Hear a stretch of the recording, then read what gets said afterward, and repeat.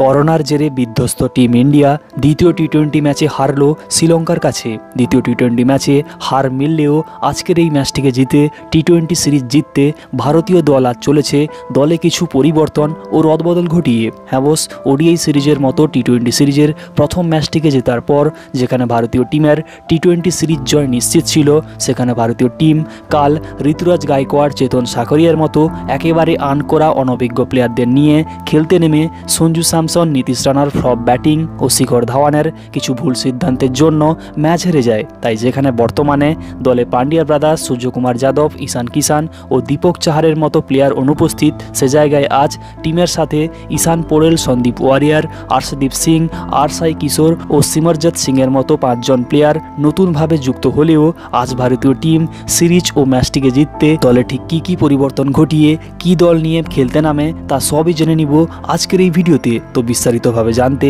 অবশ্যই দেখো পুরো ভিডিও এবং তুমি যদি ভারতীয় টিমের একজন বড় ফ্যান হও ও ভারতীয় টিমকে আজ ম্যাচ ও সিরিজ জিততে দেখতে চাও, তাহলে ভিডিওটিকে করো লাইক ও সাথে এইভাবে আরও ভারতীয় ক্রিকেট টিম ও আইপিএল সংক্রান্ত সমস্ত রকমের আপডেট ও ভিডিও পেতে এক্ষুনি করে দাও ক্রিকেট ইন বেঙ্গলি ইউটিউব চ্যানেলকে সাবস্ক্রাইব তো বস, আজকের এই ম্যাচটিকে তো আমরা আজ ঠিক সন্ধ্যা আটটায় টিভিতে সোনি টেনের সব চ্যানেল ও মোবাইলে Sony LIV Jio TV Thop টিভির মতো অ্যাপ্লিকেশানগুলোতে সহজে দেখতে পাবোই। আর তাছাড়া আজকের ম্যাচে ভারতীয় দলের কনফার্ম প্লেইং ইলেভেনের কথা বললে এই ম্যাচে ওপেনিং করবেন শিখর ধাওয়ান ও ঋতুরাজ গাইকোয়াড়। হ্যাঁ বস, আজকের এই ম্যাচটিকে জিততে হলে তো শিখর ধাওয়ানকে আরও বড় ইনিংস খেলতে হবেই। আর তাছাড়া নতুন ওপেনার গাইকোয়াড়কেও আজ কলম্বোর স্লো উইকেটে আরও বেশিক্ষণ ধাওয়ানের সাথ দিতে হবে। এরপর এই ম্যাচে মিডিল অর্ডারে ব্যাট করতে দেখা যাবে।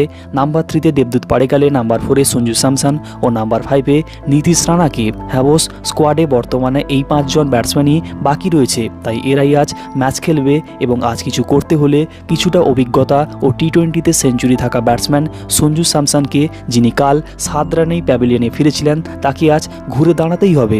আর আজ দেবদূত পাড়েকালের ব্যাট থেকে আরও ভালো ইনিংস বেরোনোর সম্ভাবনা রয়েছে। এরপর এই ম্যাচে ফিনেসার রূপে দেখা যাবে নাম্বার সিক্সে ভুবনেশ্বর কুমার, নাম্বার সেভেনে কুলদীপ যাদব ও নাম্বার এইটে আর সাই কিশোরকে। হ্যাঁ বস কুলদীপ যাদব, ভুবনেশ্বর কুমার তো আজ পুরোপুরিভাবে ভারতের বোলিং ডিপার্টমেন্ট সামলাবেই। আর তাছাড়া এই দুজনেরই কিছুটা ইন্টারন্যাশনাল লেভেলে ব্যাট করার ক্ষমতা থাকায় এদেরকে আজ ব্যাটিংও সামলাতে হবে। আর তাছাড়া আজ কালকের ম্যাচে চোট পাওয়া বোলার নবদীপ সৈনির জায়গায় ভারত স্লো উইকেটে আর এক অর্থোডক্স বোলার আর সাই কিশোরকে খেলাতে পারে। এরপর এই ম্যাচে বোলার হিসেবে দেখা যাবে নাম্বার নাইনে চেতন সাকারিয়া, নাম্বার টেনে রাহুল চাহার ও নাম্বার ইলেভেনে বরুণ চক্রবর্তীকে। অবশ্য কালকের ম্যাচটিতে মাত্র একশো বত্রিশ রান হওয়া সত্ত্বেও এই কারণেই রোমাঞ্চকর হয়েছিল, কারণ তাতে এইসব বোলাররা দারুণ বোলিং করছিল। তাই আশা করা যায় ধাওয়ান এদের আজ সময় মতো ব্যবহার করবেন ও ম্যাচ জেতাবেন। তো এই ছিল আর কিছুক্ষণ বাদে শুরু হতে যাওয়া দ্বিতীয় টি টোয়েন্টি ম্যাচের সমস্ত রকম আপডেট ও ভিডিও।